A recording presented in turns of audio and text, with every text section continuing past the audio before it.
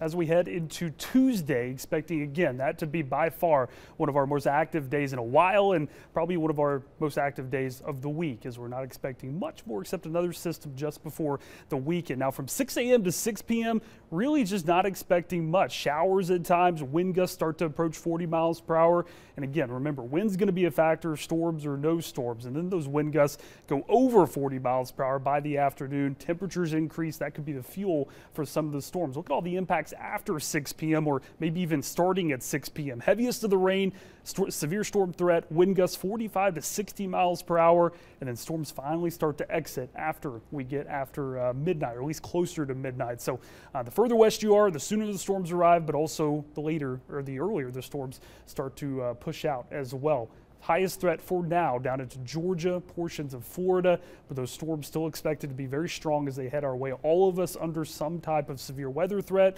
Wouldn't be surprised if we can get more instability if this threat maybe became a level three uh, level three threat. But we're also expecting instability, the fuel these storms need to maybe be hard to come by area wide. So just a lot to talk about as we head into Tuesday. Thankfully, tonight's going to be quiet, and as we head to tomorrow, expecting pretty quiet weather as well. We've had a few clouds today, still some sunshine though, and even a couple sprinkles, though most of those have decided to fizzle out as we look out for PGV. Ground is drier than it was 24 hours ago.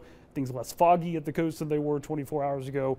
And it was just a wet and windy day yesterday, but still expecting it to be worse as we head into Tuesday, as that is still our strongest storm system. Temperatures in the 50s, but will start to drop, uh, drop down into the 40s. 49 in Elizabeth City, 46 in Roanoke Rapids, winds out of the west, northwest, anywhere from about 5 to 10, maybe slightly over 10 in a couple of places. Winds probably not completely going away tonight but they will die down a little bit more, especially inland, though we will still have a wind chill probably closer to the coast. Near freezing inland, mid to upper 30s could feel like close to freezing along the coastline. For tomorrow, we're expecting everything to be quiet. Don't have any issues you have to worry about the kids getting to school or home from school, as it's just really a cold start and a cool afternoon as we head throughout our Monday. Tuesday, going to be a different story. Probably will be easier to get them to school and back to school before those storms arrive, but still going to have some rumbles and thunder, definitely some rain in the morning around 7 a.m., but most of that heavier rain continues to be well off to the west. You can start to see some of that instability develop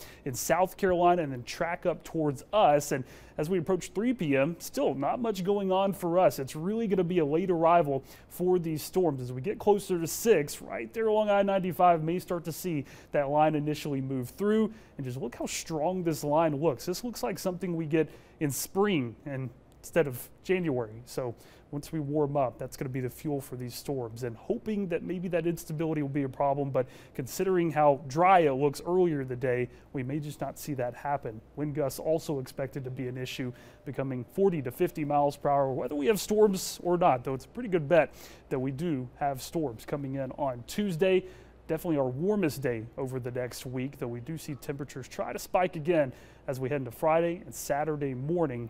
But uh, for now, Tuesday just continues to be that day. Have multiple ways to get warnings, especially through the evening. If you're not home by 6 o'clock, could be a tough time getting home as a line of storms pushes in. And uh, the winds, you know, storms, even before the storms arrive, could have some isolated power outages due to just how strong some of those normal wind gusts uh, start to crank up throughout the day. So correct if I'm wrong. Monday, kind of quiet on the home front. Yeah, we're right? good Monday. And then we go into Tuesday, it's a whole different story. It is. And although we call it a first alert weather day for people like me, non-weather people, maybe a first alert weather evening. It'll evening, night, but I think those yeah. winds, especially through the rest of the day, still get strong okay. enough where we could have some issues. All right, thanks, Zach.